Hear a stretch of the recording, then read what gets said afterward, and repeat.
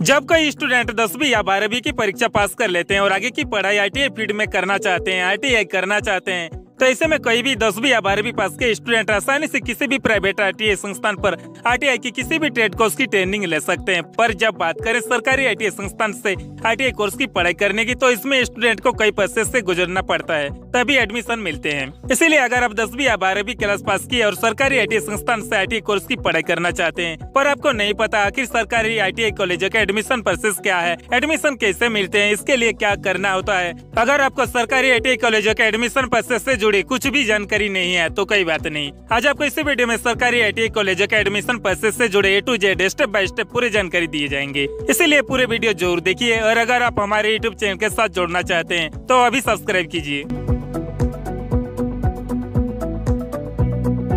Course चाहे कहीं भी हो, किसी कोर्स की पढ़ाई करने से पहले आपको उस कोर्स से जुड़े थोड़ा कुछ ज़रूर पता होना चाहिए। इसलिए हम चाहेंगे कि आप सरकारी आई कॉलेजों के एडमिशन प्रोसेस से जुड़ी पूरी जानकारी लेने से पहले आप ये जान जाए कि आखिर ये आई कोर्स क्या है, इस कोर्स में स्टूडेंट को क्या पढ़ाई और सिखाए जाते हैं। आईटीआई के कौन कौन से ट्रेड कोर्स की पढ़ाई कर सकते हैं शिक्षण की जगह तक क्या है आईटीआई कोर्स कहाँ पर कर सकते हैं, कम से कम इस कोर्स से जुड़े ये बेसिक जानकारी आपको ज़रूर पता होना चाहिए। फ्रेंड्स आई भारत सरकार के श्रम एवं रोज़गार मंत्रालय द्वारा चलाई जाने वाली एक औद्योगिक प्रशिक्षण संस्थान है। आई का पूरा नाम इंडस्ट्रियल ट्रेनिंग इंस्टीट्यूट है।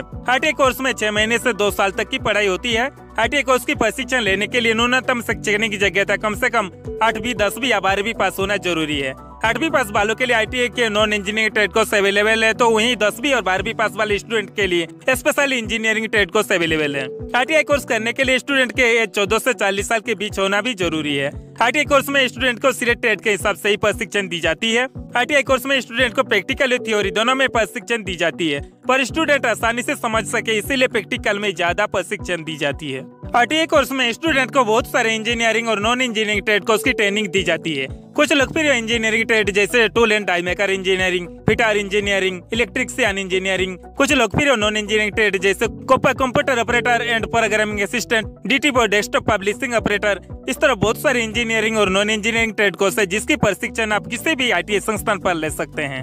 आईटीआई के अंदर प्रशिक्षण दिए जाने वाले सभी ट्रेड कोर्स की कोर्स डायरेक्शन एक जैसे नहीं होते हैं। जैसे फिटर इंजीनियरिंग ट्रेड के लिए दो साल इलेक्ट्रिशियन इंजीनियरिंग ट्रेड के लिए दो साल, कॉपर ट्रेड के लिए एक साल, इस तरह छह महीने से दो साल तक की पढ़ाई होती है। अगर आप आई के सभी इंजीनियरिंग और नॉन इंजीनियरिंग ट्रेड कोर्स की जानकारी पाना चाहते हैं रिक्वायर्ड क्वालिफिकेशन के साथ पूरे लिस्ट देखना चाहते हैं तो आप वीडियो डिस्क्रिप्शन में दिए गए लिंक पर क्लिक करके पूरी जानकारी पा सकते हैं। तो आईटीआई कोर्स के एडमिशन प्रोसेस क्या है, चलिए जानते हैं। फ्रेंड्स प्राइवेट और गवर्नमेंट आईटीआई संस्थानों का एडमिशन प्रोसेस अलग अलग होता है। प्राइवेट कॉलेजों में आईटीआई कोर्स की पढ़ाई करने के लिए आसानी से डायरेक्ट एडमिशन तो मिल जाते हैं। वहीं सरकारी आई कॉलेजों में सीधे भर्ती नहीं होते हैं। तो गवर्नमेंट आई कॉलेजों का एडमिशन प्रोसेस क्या है? एडमिशन कैसे मिलते हैं? चलिए जानते हैं। नंबर वन सरकारी आईटीआई कॉलेजों में एडमिशन लेने के लिए स्टूडेंट को ऑनलाइन अप्लाई करना होता है। ऑनलाइन अप्लाई करने के लिए आपको आई के उसी ऑफिशियल वेबसाइट पर जाना है, जिस स्टेट से आप हो। Number two new candidate register पर क्लिक करना है और पूरे फॉर्म भरकर रजिस्ट्रेशन करना है। नंबर थ्री इसके बाद यूज़र नेम और पासवर्ड डालकर लॉग इन करना है और स्टेप बाय स्टेप पूरे फॉर्म भरना है। जैसे name address Aadhaar number qualification details date of birth email address mobile number इस तरह जो कुछ भी मांगे जाएँगे आपको सही सही भरना है। प्रोफ़ाइल फ़ोटो डॉक्यूमेंट जो भी मांगे जाएँगे आपको अपलोड करना है और कंप्लीट अप्लाई करना है, ठीक है?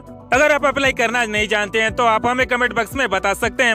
अगर ज़्यादा लोगों के कमेंट होंगे तो आई के अप्लाई प्रोसेस से जुड़े भी। एक अलग से ट्यूटोरियल वीडियो अपलोड कर दी जाएँगे। नेक्स्ट कंप्लीट अप्लाई करने के बाद प्रिंट आउट भी निकालना है। ये प्रिंट आउट आगे आपके काम में आएँगे, इसीलिए इसे ठीक से रखना है।